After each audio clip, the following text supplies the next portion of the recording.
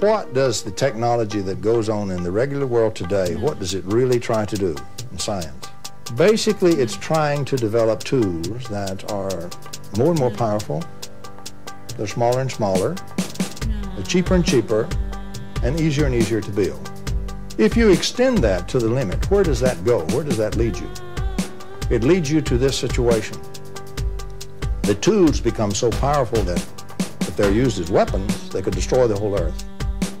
They become so small that uh, one person might hold one of these that would destroy the earth in both hands. It'd be that small.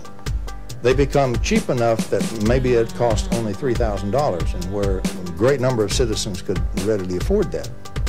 Instead of buying a new car, they buy three or four of these.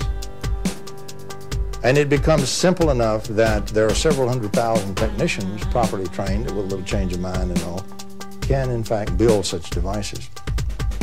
We are beginning to approach that area, beginning to arrive at that area now. We can make real progress in resolving or lowering, or decreasing uh, man's inhumanity to his fellow man and the great hostility, of weaponry, and so forth in the world today. And the, unless we do that, uh, we simply will not survive our own technology. Will, the power of our tools will be turned against us by other people who are inhumane, and we will destroy each other. Life is abundant in the cosmos in the approach that I'm taking. For example, in quantum mechanics, the modern view of the vacuum is that inside what we normally think is emptiness, there is continually appearing a little particle, a little form, a little group of particles, and then these almost instantly disappear so fast that they can't be independently caught and measured. But they're very real. We have experiments which show they really do exist that fashion. And they continually appear and disappear all of the time at an incredible rate. And any kind of form that you might wish to name appears every so often in that. Uh, any kind of living being, any kind of a material molecule or an atom of gold or an automobile or anything you might name, a living being, a living animal, appears in there with a certain occurrence, a certain frequency. And so what we have then is these things called ghost forms. Hmm. And if we really look at that, it's an area that most quantum physicists are very, very uh, hmm. uncomfortable with. But nonetheless, it is real.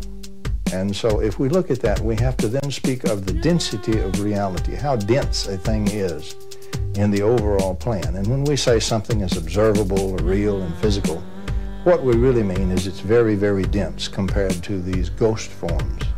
But the ghost forms are real. And theoretically, if you add energy to that form so that they acquire more energy, you could materialize any form whatsoever.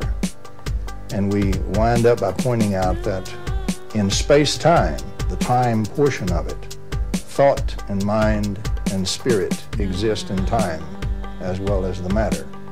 And so there is at least one common dimension, if we treat that as a dimension, the time dimension.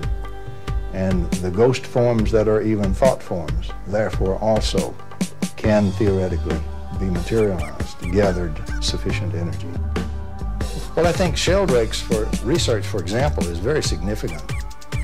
Um, he has simply labeled this the morphogenetic field, a field that generates a force gradually over a very long period of time. It accumulates an antidote for what's wrong with a species, for example, or any system, for example, take the basic idea, the parts of any system, even though they were separated in space, if they're connected by quantum uh, potential, they act together uh, as if they were partially connected back to a same local system and not separated at all.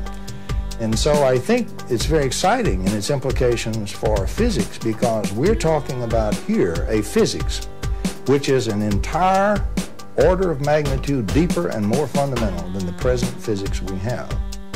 And as long as you cannot escape from the morphogenetic field, it is a spur which will drive physicists to look for the actual mechanism that causes that to happen.